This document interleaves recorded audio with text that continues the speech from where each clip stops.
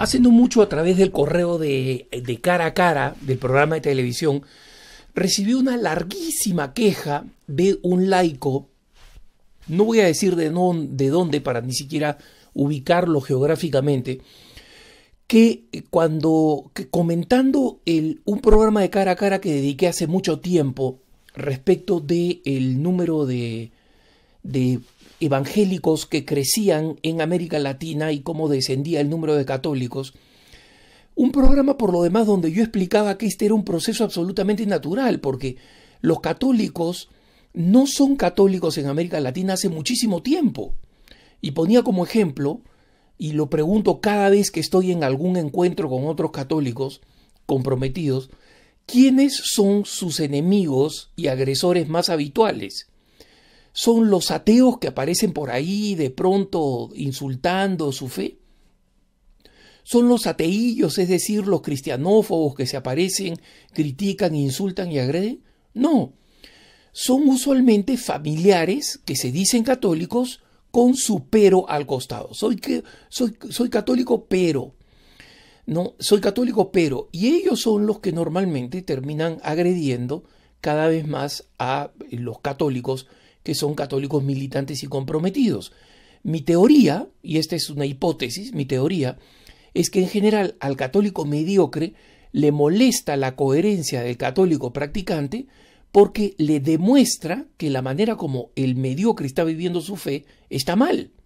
Y en consecuencia trata de buscar por todos lados y en cualquier lugar excusas para mostrar que el catolicismo es en realidad una religión de hipócritas para hipócritas.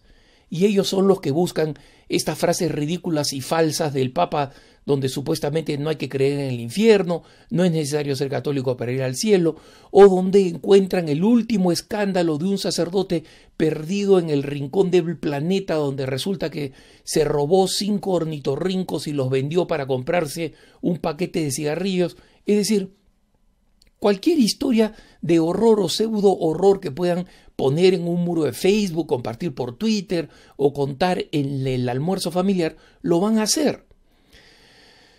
Pero este eh, caballero que me escribió, me escribió diciendo que eh, esperaba que yo no iba a responder, que ya había escrito tres veces, no sé a dónde. De hecho, la primera, el primer correo electrónico que recibí fue en el que se quejaba de que ya me había escrito en tres otras ocasiones, y donde básicamente lanzaba una diatriba totalmente hepática, hepática significa del hígado, ¿no?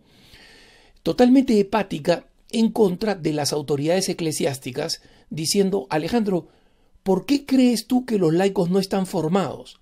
Los laicos no están formados porque la jerarquía no lo forma.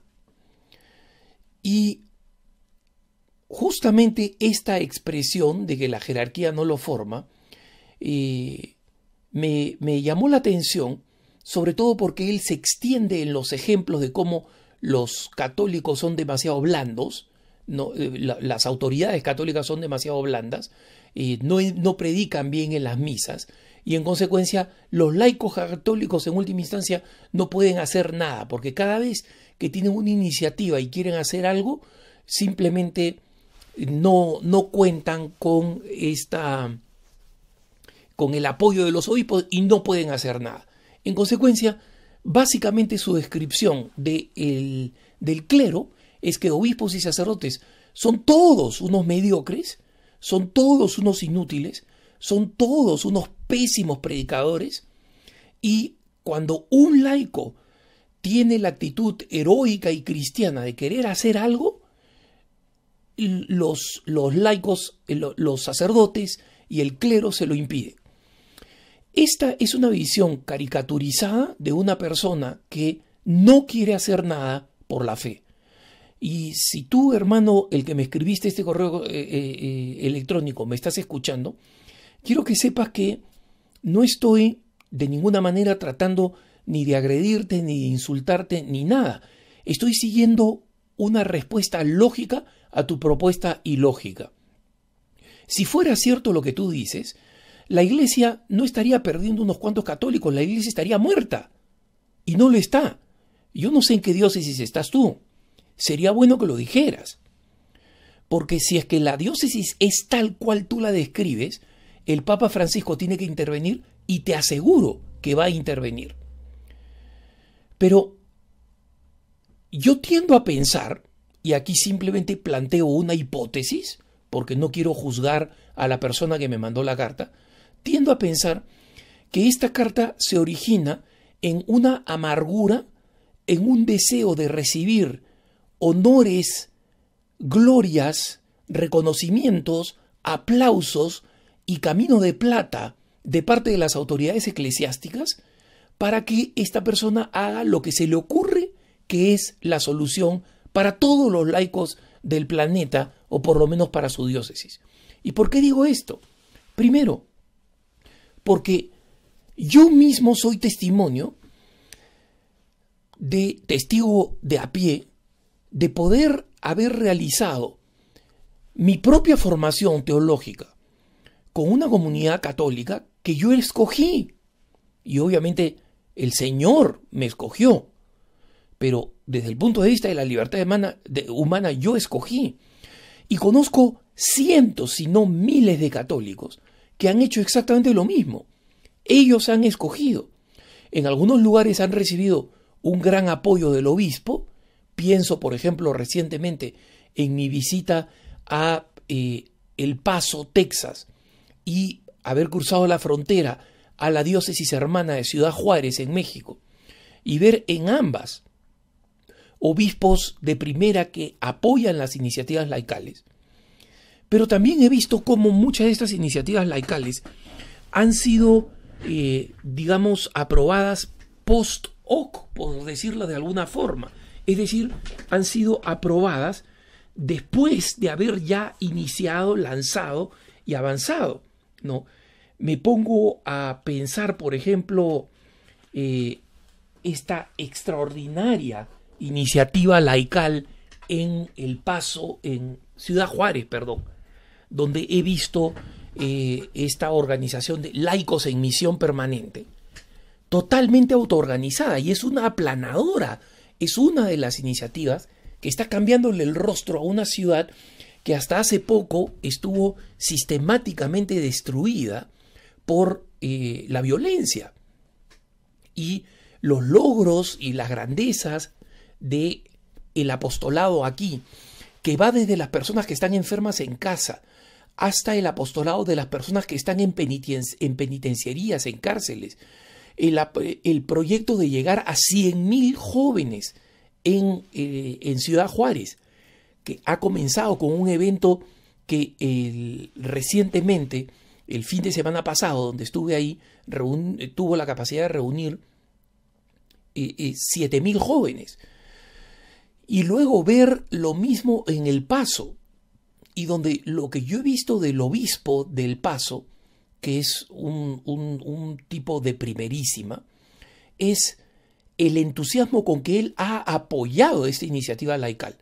Esta iniciativa laical surgió de entre laicos, laicos comprometidos, laicos que saben qué cosas no tienen en la cabeza, no tienen en la cabeza esta especie de patología amargada, profundamente anticatólica, que es la convicción de que no se puede, no se puede, no nos van a dejar. No.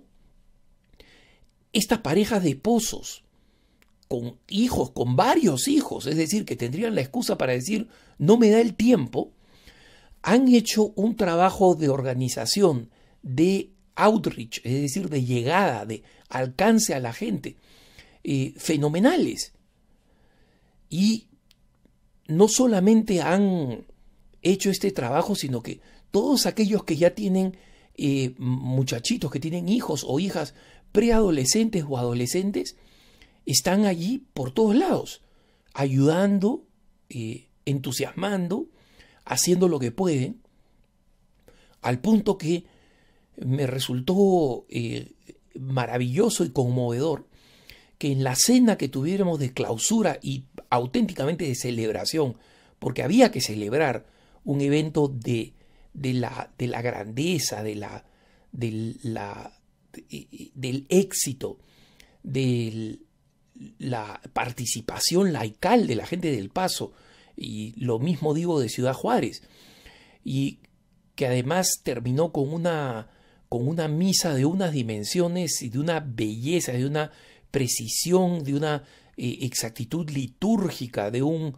coro oportuno, de una devoción de las personas que respondían con fuerza.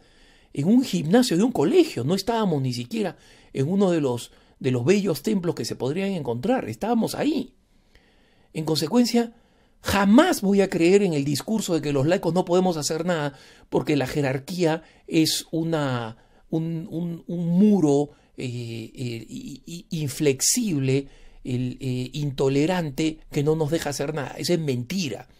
Y sé que hay lugares donde los obispos son poco colaboradores y sé que hay otros lugares donde los obispos son más colaboradores.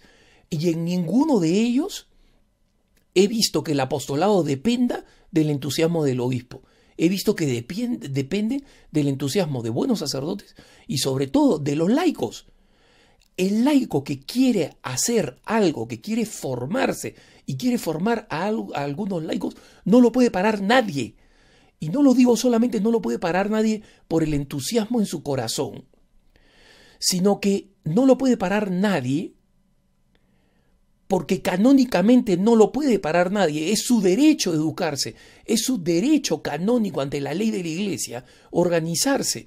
Y mientras no haga nada que uno vaya en contra de la doctrina católica y dos, interfiera con las actividades que son propias y exclusivas del clero, sacerdote u obispos, el laico no solamente tiene el derecho, sino la libertad y la obligación de hacerlos. Y les puedo decir que en mi experiencia, en muchísimas diócesis que he visitado, desde el apostolado en Dallas, en Galveston, Houston, en mi misma arquidiócesis de Denver, en el en, ahora en El Paso, en Ciudad Juárez, en múltiples lugares, he visto, para no hablar cuando he hecho viajes internacionales, por ejemplo, en Costa Rica o Guatemala, donde yo sé que además los, los obispos son amigables, pero a los obispos normalmente les llevan proyectos ya preparados, organizados, bien planteados. Y no conozco ninguno de estos laicos que diga, ay, no puedo hacer nada porque el obispo no me deja. Esa no es la actitud cristiana, esa no es la verdad y esa no es la realidad de los laicos. Que tengas un buen día.